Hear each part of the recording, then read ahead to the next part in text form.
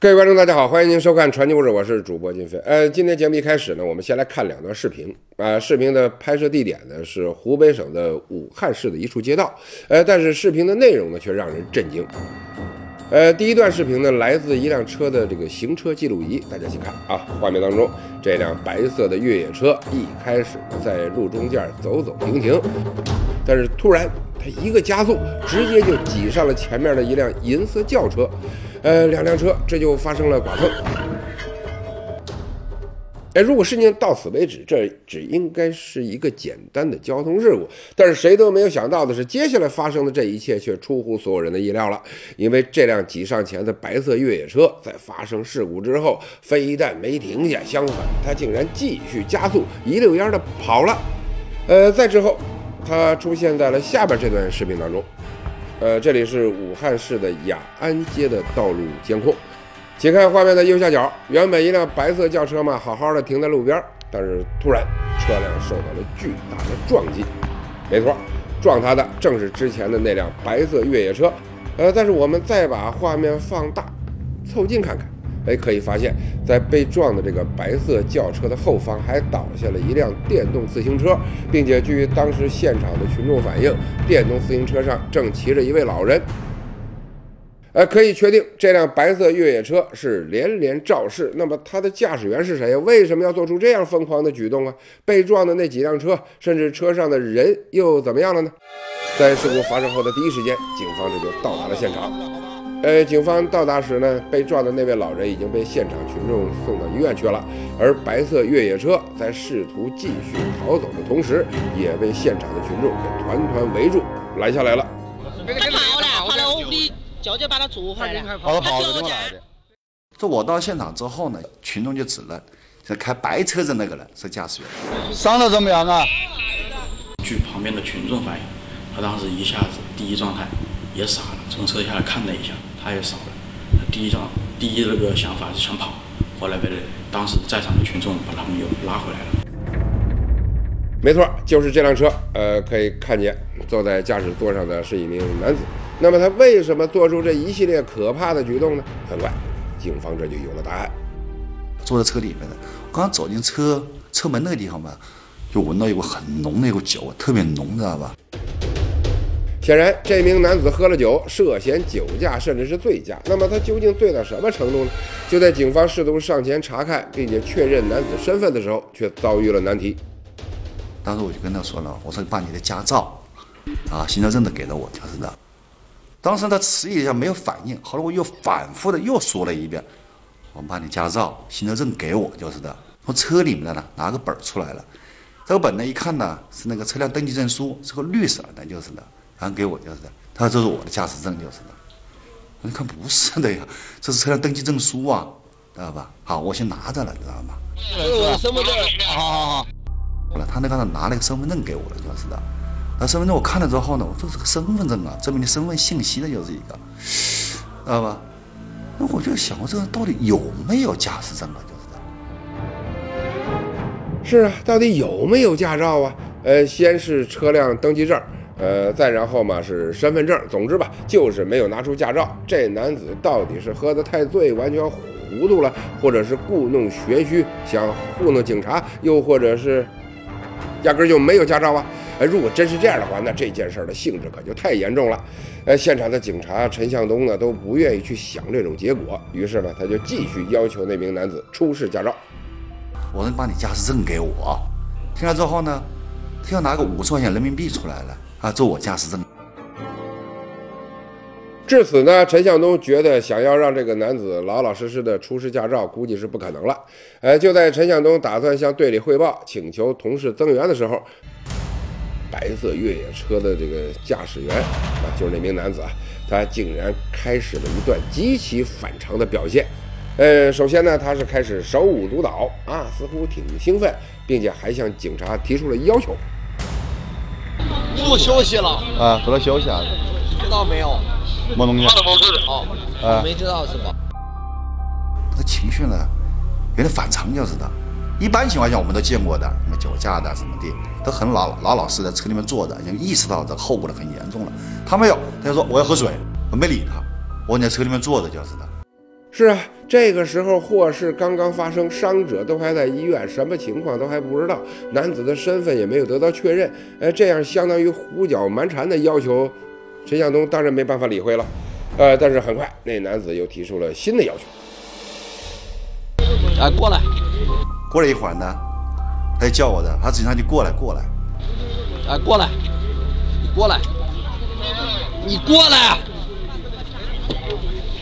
再过了一会儿，又很，他又叫了，他警察就过来。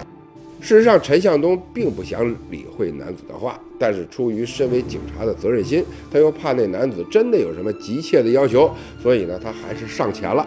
哎，但是接下来发生的这一幕呢，却是陈向东怎么都没有想到的，呃，甚至可以说是他整个从警生涯当中从来没有碰到过的。那我就想，叫两次了，就是的，我会不会有什么事情呢？就是的，我走到个车跟前去了，就是的，然后刚走就梆一拳就打过来。是的，这名男子竟然毫无缘由地袭击了陈向东。呃，这下别说陈向东了，就连现场的群众都看傻了。这名男子到底是想干什么呀？呃，但是陈向东并没有还手，而是顺了顺气儿，对那名男子仍然是好言相劝。我说我的吧，我没，我就跟他说，我说你喝醉酒了，我呢也不跟你计较什么东西的，毕竟你是喝醉了，知道吧？啊，我说你老老实坐着就是的。但是对于陈向东的劝告呢，驾车男子非但不听，他的情绪还越来越激动，指着陈向东，表情狠厉。突然，他半截身子伸出车窗，向陈向东扑了过来。在制服的过程中呢，手也被他打伤了，就是，耶，在后来旁边群众有的群众就看见了，他警察，我跟你作证，他先打你的，我们都看见了，是他先打的，就是的。眼看这名男子是越来越嚣张，为了防止更多的意外发生，现场的警察意识到必须要尽快制服他。啊！拉拳！拉拳！拉拳！打你！这个你把你毛都没了！我中国说打开。好在周围群众都上前帮忙，不一会儿，那名男子终于被拉下了车。衣服都湿破了，群众都很气愤，知道吧？都围着不让他跑，就是的，都很气愤，说你把人给撞了，就是，你还敢还敢袭警，就是的，都很气愤。群众那时候。我们想，那那个时候吧，群众都很有，都很有正义感。没错，对于这名男子如此的行为，别说现场观众了啊，可能就连我们看了也免不了心生气愤。啊，最后呢，由于男子持续挣扎，丝毫不肯配合，并且一直试图逃跑，警方只好把这名男子送到了武汉市醉驾案件办理中心。按照这个公安部的有关规定，我们目前查缉醉驾案件的这个呃。凡是发现涉嫌醉酒后驾驶机动车的，一律强制醒酒。这边呢，那名男子还在宿醉当中没有醒来，可是医院那边呢，那一家人却因为男子的行为正在痛苦的煎熬中。没错，就是那名骑着电动自行车被白色越野车撞倒的老人，他伤势严重，正在医院抢救呢。然后去天河医院的时候，反正人就已经在重症里面是看不到的。医生说就是，呃，抢救，呃，不是情况不是很好，让我们有心理准备。事实上，李楠表示，事发当天对于他们一家来说是个非常特殊的日子，那就是父亲的生日。当时呢，他们全家都准备好了饭菜，正打算合家吃一餐团圆饭。可是父亲呢，却坚持要去把孙子也接过来，有个孩子热闹，并且边说呢，就自个儿穿上衣服往门外头走了。家里菜全部做好，他说不行，我要把孩子接回来一起吃，然后和小孙子一起回来。李大爷一份拳拳之心呐，谁能想得到，却在他去接孙子的路上被无情的打碎了。那辆疯狂的白色越野车撞向了他。我们一大家子坐在一起吃饭，结果就医生其实一开始还说，哎，你父亲这个身体很好，我想这个抢救应该没有问题。但当时那一下子可能还心寒。就缓了一下，这我就只要人在，我还能够尽孝，我觉得这都不是事儿，因为我毕竟有，我是壮年，我可以扛，没有事，只要他在。守候在手术室外的李家人呢，此时只有一个祈求，那就是父亲能够转危为安。但是，一夜过去了，最后的结果却让李家人痛彻心扉。李家老父亲救治无效，命丧黄泉了。那就已经不是揪心了，那是崩溃啊！那不，那那不真的是不能叫揪心。真正自己父亲亲人走的那一刻，真的是就觉得，我有生以来第一次，我两个腿是硬的，完全挪不动步。确实让家人怎么能接受呢？一场车祸让所有的期盼瞬间化为了虚无，让全家人从喜悦的山峰落到了最悲伤的谷底。这种落差所带来的打击，李家人觉得难以承受。面对这样的结果，李家人首先就想到了一个人，谁呀？没错，就是那个驾驶白色越野车的男子。我们也想问一句：一夜过去，他酒醒了吗？他知道自己犯下了如此大错吗？来，让我们一起回到武汉市醉驾案件办理中心，这里的医护人员呢，呃，已经对驾车男子进行了初步的检查。醉驾，酒精结果达到了两百九十九点几，接近三百了，属于严重超标。每毫升血液酒精含量三百毫克，这是什么概念？呃，我们国家有法律规定，超过二十毫克那就算酒后驾车，超过八十毫克视为醉酒驾车。所以可想而知，三百那是八十的三点七五倍，在医学专业上，这已经不叫醉酒了，而是酒精中毒。那么在我们法医学上面的话，呃，在界定乙醇中毒的时候，并不是以这个标准为主，我们是以轻度中毒、中度中毒和重度中毒这三个标准来划分。驾车男子这样每毫升血液酒精含量达到三百毫克，算是中度的乙醇中毒。相关人士表示，像这样到达了中毒地步的人，在行为上一般会出现三个阶段。第一期的话叫兴奋期，兴奋期就是话语比较多，比较亢奋一点，敢做一些平时自己不敢做的事情。那么第二期的话就是共济失调期，就行为行动会有些奇奇怪怪，比如说走路走不稳。拿东西拿不好，呃，共济失调期。第三期的话就是抑制期，抑制期的话就是躺在那里不会动了。呃，时间来到了事发第二天的早上，驾车男子的酒嘛总算是醒了。既然是醒了，这一桩桩一件件的事儿，他就别想再逃了。嗯，必须得面对呀。他为什么要喝酒啊？喝了酒又为什么会开车呀？驾照到底他能不能拿得出来呀？如果没驾照，他车又是哪来的呀？整件事情。他将如何解决？这都在等待着肇事司机本人一一作答。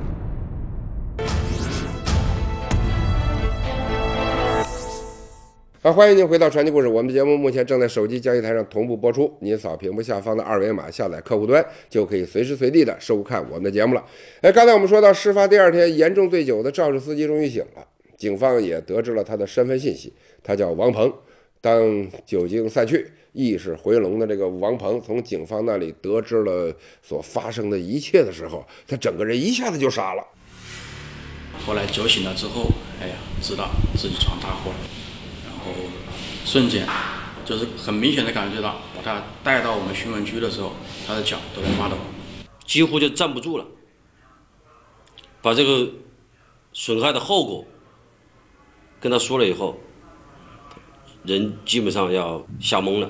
而让王鹏害怕的原因呢，还不仅仅是醉驾，更重要的一点，王鹏亲自交代，他根本就没有考取过驾照。你听听，这实在太可怕了！一个没有驾照的人，不但敢开车上路，甚至在严重醉酒的情况下，在路上成为了马路杀手。那这么一来，李家老父亲的悲剧简直就成了一种必然的。当然了，我们也需要慰问王鹏，到底是什么原因让他在这种情况下还要开车上路呢？哎，说到这个，王鹏自个儿也已经后悔到痛哭流涕了。嗯，他表示整件事情呢，只能用鬼使神差来形容。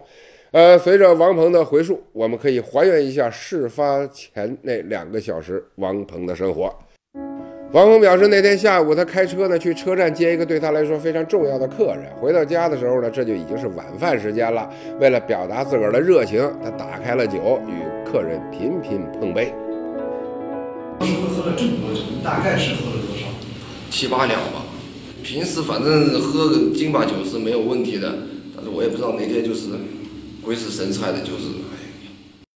事实上，这时候的王鹏已经是醉酒状态了。如果他就这么睡过去了，这一切就是另外一个模样。可是王鹏也不知道什么原因，非要出门去接一个人。就这样，他拿起车钥匙，发动了汽车，闯下了弥天大祸，给李家人带来了永恒的伤痛。哎，得知王鹏根本就没有任何外力作用，而完全是自个儿做出了如此莽撞的决定，哎，李家人真是气愤不已啊！他们表示无法原谅王鹏。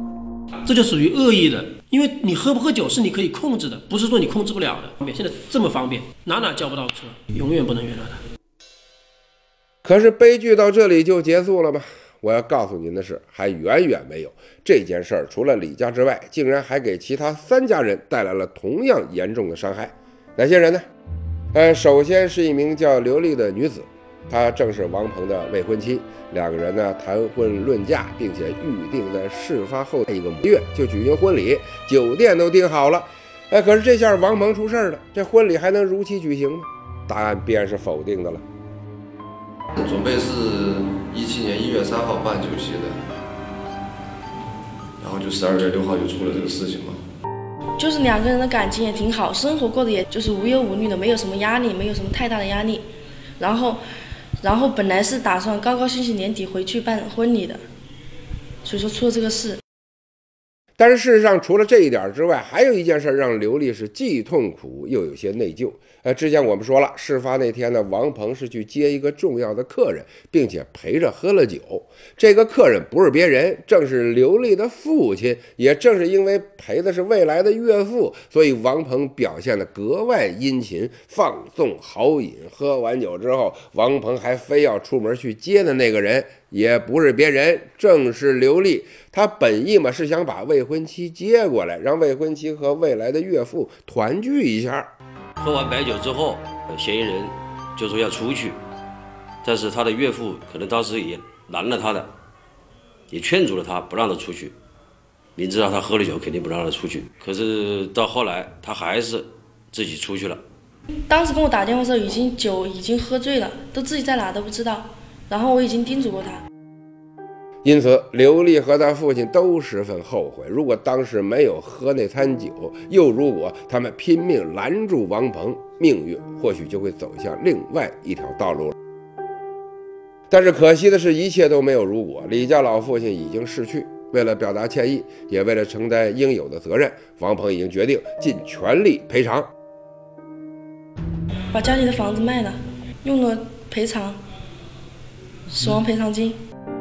没有纠结，卖了以后你心里难不难受呀？心里肯定难受啊。所以说呀，这一场祸事不仅夺取了李家老父亲的性命，还夺走了王鹏和刘丽原本幸福美好的未来。这样的打击让刘丽几乎有些崩溃呀。就是那种从天上掉掉到地上的感觉，就原来很美好的生活，就因为这一件事，一夜之间全部没了。说完了李家和刘家，那么还有哪两家人受到了这件事的影响呢？别忘了，王鹏是没有驾照的，所以他不可能自己买车。那么他驾驶的那辆白色越野车是哪儿来的呢？警方调查到，白色越野车的主人姓姜，而这个人正是王鹏的同事，也正是他把车子借给了王鹏。哎，看到这儿，您可能会说了，这姜先生怎么这么糊涂啊，把车借给一个没驾照的人呢？呃，可是当警方找到江先生的时候呢，他却只喊冤枉，因为他压根就不知道王鹏没有驾照。我不知道他们有没有驾，有没有驾照，因为他跟我说他有。所以你说我，我也我自己又不是交警，我不可能还说去像交警一样去查人家的。所以，当江先生见到警察登门，得知了这一切，整个人可以说完全就懵了。他没想到一时好心却惹出了大祸。更重要的是，江先生通过律师得知，在我们国家的这个法律当中啊，借车给没驾照的人也是要负法律责任的。从法律角度来说，他把车借给无驾驶证人驾驶，这是一个违法行为。另外，从民事赔偿上面。他也有不可推卸的责任。为此，江先生是担忧不已啊，家人也对他是诸多的责怪。没办法安心工作，每每天都在担心这个事情呢。然后家里面的各方面的争吵。确实碰上这样的事儿，谁家能不糟心呢？相当于飞来横祸呀！江先生不但新车没得开，估计还得损失一笔钱。所以现在再提起王鹏，江先生那是气得不行啊！您觉得这这关关键还存在吗？我觉得应该不会存在。我说你这是纯粹是为了害我呢，还是怎么了？说完这几个家庭，而最后我们要说的，当然就是王鹏自个儿的家庭了。王鹏事发的时候呢，只有二十多岁，被寄予了父母的全部期望。但是如今的他只能被关押，等待法律的审判。必须说明的是，我们国家的法律在二零一一年的时候就将醉驾写入了刑法。发生重大事故致人重伤死亡，或者使公司财产遭受重大损失的，处三年以下有期徒刑或者拘役。交通肇事之后逃逸或者有其他特别恶劣情节的，可以处三年以上七年以下有期徒刑；因逃逸致人死亡的，那是要处七年以上有期徒刑的。而王鹏呢，他是无证驾驶加醉酒驾驶，造成多车连环事故，并且导致一死一伤。更重要的是，他还殴打警察，暴力抗拒执法。他会面临怎样的刑罚呢？如果说我们是仅仅站在这个交通管理的角度，作为一个普通的交通交通肇事案件来办理的话，这跟这个呃跟这个目前这个案件的性质来说，可能说我们认为可能不匹配。关键是他在出了交通事故以后，继续放任这种结果的发生，使事态变得更严重。他这种行为就是危及了大多数人的。生命安全，所以警方认为王鹏不仅仅是涉嫌危险驾驶罪，同时还具备了另外一项罪名的构成要件，那就是危害公共安全罪。经过报请上级执法部门，我们以这个以属地这个派出所这个以危害公共安全罪来这个呃立案，同时还有妨碍公务罪两项罪名立案。目前这两项呃罪名，检察机关都已批准，让。